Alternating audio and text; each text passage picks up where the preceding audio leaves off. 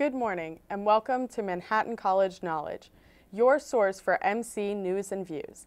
I'm Haley Burnside. And I'm John Jackson. Let's get into today's top stories. As the weather gets warmer, the construction workers continue hammering away at the newest addition to campus. The Higgins Engineering Building is coming into view, and students are getting excited about it. Commuters and faculty in particular are excited about the project being completed. The construction has created issues with parking and traffic around South Campus. The MC community is hopeful that the building will be worth all the trouble when classes finally start in the new space. That's not all in the construction corner. Let's check in with the 238th Street subway stop on the 1 train. After several months of inconvenience for some commuters, the construction of the subway stairs and platforms on 238th Street has concluded. Construction began on the northeastern uptown staircase in April 2018. After five months of work, the high entrance reopened on September 2nd with new stairs and a new turnstile. Once concluded, work began later that month on the southeastern uptown staircase as well as the lone downtown staircase. Because the northeastern uptown staircase was operational, uptown commutes were unaffected despite construction on the southeast side. However, since there is only one downtown entrance, downtown 1 trains did not stop at 238th Street for the entirety of the repairs. The platform officially reopened on January 12th with a complete return to normalcy thereafter. It's that time of year again, Jaspers. Springfest is in the air. Students are gearing up for another fun concert after the announcement of this year's acts. I got all the details on the upcoming events. Take a look. Springfest is just around the corner and the anticipation is already building. This year, the event is going to be a little bit different than in years past. There will be a triple lineup with three artists performing in Draddy Gymnasium. Thanks to an increased budget, student engagement was able to secure a triple lineup for this year's Springfest concert. In addition to that, the weekend will be full of events held on the quad and here in Smith Auditorium. The events will include games, fair activities, contests, and photo opportunities for students. This year's lineup includes 303, Skylar Grey, and Jeremih. It's going to be really cool that it's like a festival vibe. I'm really excited to see all of the other fun events that student government planned. I heard they have a lot of things happening out on the quad, a lot of games for us to partake in. And it's rumored that there will be events here in Smith after the show. This will help in case there's any weather problems like there have been years in the past. Back to you in the studio. Recently, students have more to rock to than just 303. With the revival of the college's radio station, some exciting new waves are being broadcasted across campus. Let's see what's going on in WRCM's new space. Manhattan College's radio station, WRCM, has made a comeback on campus. I went to the Research and Learning Center to interview Aiden Roney, WRCM's Public Relations Director.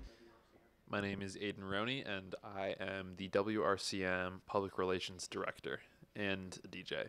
Uh, we're located in a former security booth in RLC, so we're down here on the lovely uh, Corlear Avenue. Um, it's really cool to have the windows because we get to see people coming in and out of class while we're doing our shows. Having WRCM back is really fun because we get to have a lot more uh, campus involvement it's just built a community that's really awesome. I've made a lot of connections through the club. Getting to, you know, have this creative outlet is really interesting and really fun.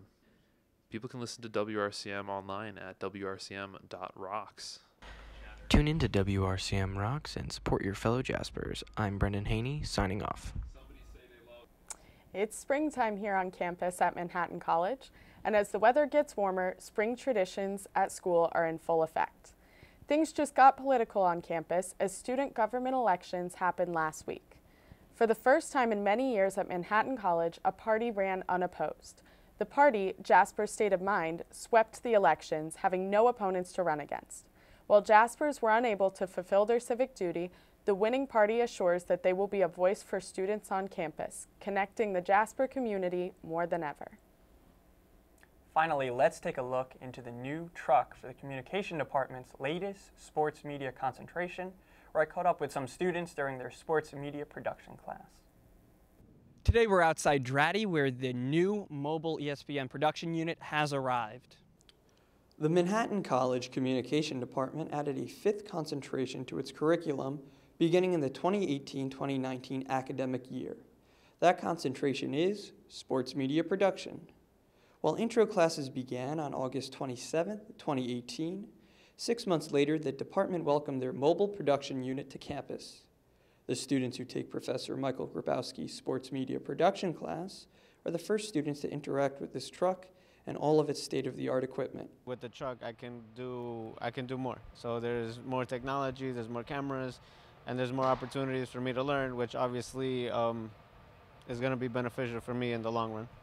The class, which consists of nine Jaspers, is currently getting hands-on experience in different areas of production, such as how to direct, how to replay highlights, and how to shoot games as camera operators. All this work being done now is to prepare them for the 2019-2020 men's and women's basketball seasons, which they will produce themselves via E ESPN3.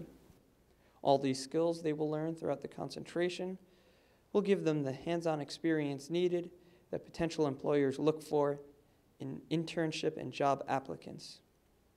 It just looks great on the resume to show that you both was working on it at school and you're now coming out and you're able to, to go out and find a job. Now back to you in the studio.